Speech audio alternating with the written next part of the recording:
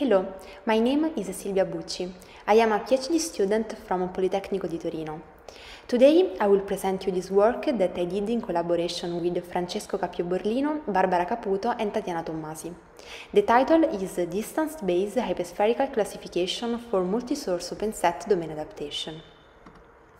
Multi-source open set domain adaptation is a very realistic scenario in which the labeled images come from several different visual domains with overlapping label sets. The target data come from a visual domain different from the sources and contain also samples from unknown categories. The goal is to detect the unknown samples in the target and properly classify the known ones. The task comes with several challenges. The first problem is negative transfer. Forcing source target alignment without paying attention to the target unknown classes may lead to recognition mistakes. The second problem is due to the cross-entropy loss.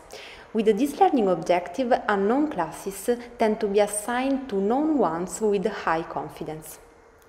The third problem is the definition of a normality score and the choice of a threshold on it to separate known and unknown classes.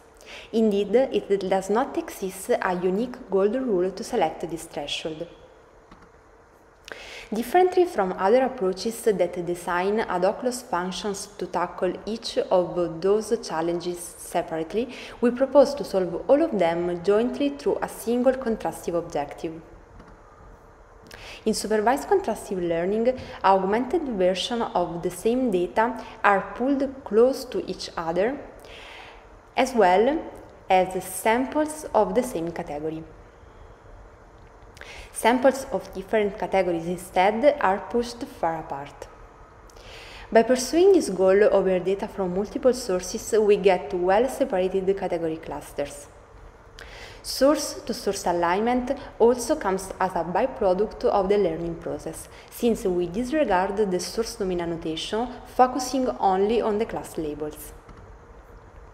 To prepare for the new target domain, we include the style transfer among the standard augmentations in the training phase.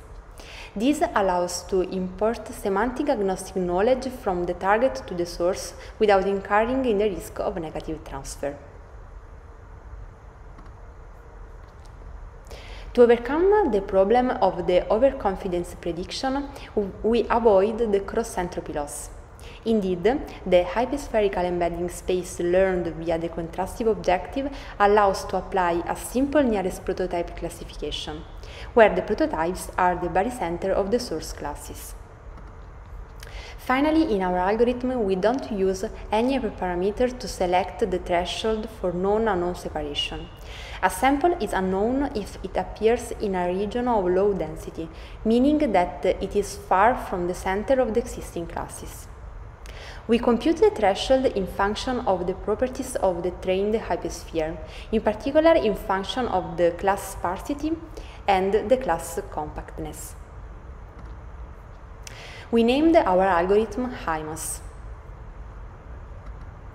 We evaluated the performances of our approach on several domain adaptation benchmarks, considering both the metric that indicate the ability of the network to recognize the classes and the ability to separate the target samples in known and unknown.